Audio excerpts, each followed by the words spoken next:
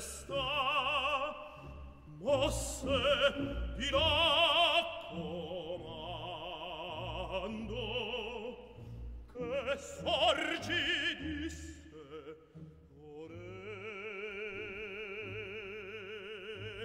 ah,